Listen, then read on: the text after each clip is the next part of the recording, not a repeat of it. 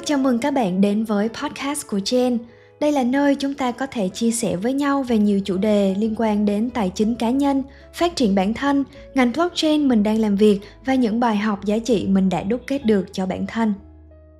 Xin chào mọi người, mình là Jenny Nguyễn. Hiện tại mình đang làm về quản lý vận hành cho hai công ty. Công ty thứ nhất là Con số 8, làm về mạng truyền thông về Web 3 và công ty số 2 là Kairos Ventures, là một quỹ đầu tư mạo hiểm về blockchain. Thật sự thì mình đã muốn làm series podcast riêng từ rất là lâu rồi Tại vì mình là một người có thói quen nghe podcast gần như là mỗi ngày Cho nên là cũng luôn ấp ủ dự định là một ngày nào đó mình cũng có thể xây dựng và phát triển nên một kênh podcast cho riêng mình.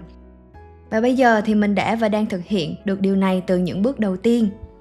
Khi mình quyết định làm kênh podcast này, mình muốn chia sẻ với các bạn nhiều hơn về câu chuyện của cá nhân mình, những góc nhìn của bản thân, quan điểm sống và những điều mình đã trải qua và học hỏi được mình cũng sẽ nói thêm về câu chuyện quản lý một số điều về tài chính cá nhân câu chuyện đầu tư hay là đặc thù trong ngành blockchain và những câu chuyện khác xoay quanh ngành này để những bạn nào mà có đang mong muốn tìm hiểu thêm về ngành blockchain hay là crypto có thể nghe tham khảo và có thêm thông tin từ một người đã làm trong ngành này 7 năm qua.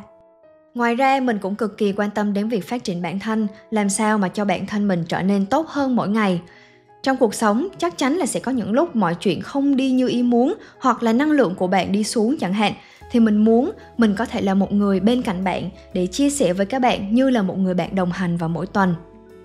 Mình cũng đang làm việc trong mạng tài chính và đầu tư. Mình nghĩ đây là con đường đã giúp mình đạt được độc lập tài chính trước năm 30 tuổi và thêm nữa thì mình là một người sinh ra vào cuối thế hệ Gen Y và đầu thế hệ Gen Z cho nên mình có thể hiểu được phần nào suy nghĩ và hành động của các bạn Gen Z để có thể chia sẻ cảm thông được phần nào đối với các bạn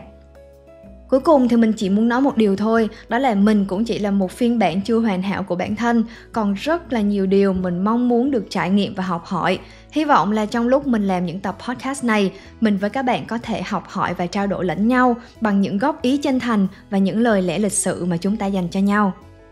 Cảm ơn các bạn đã lắng nghe lời chào đầu tiên của mình và hẹn gặp lại các bạn vào mỗi tối thứ sáu hàng tuần tại kênh YouTube của Có 68 TV hoặc là kênh Spotify có tên là Podcast của Jen dành cho những bạn nào muốn nghe bản audio nhé. Mình cảm ơn và xin chúc những gì tốt đẹp nhất trên thế giới này sẽ đến với bạn. Hẹn gặp lại các bạn ở những tập podcast sau. Bye bye!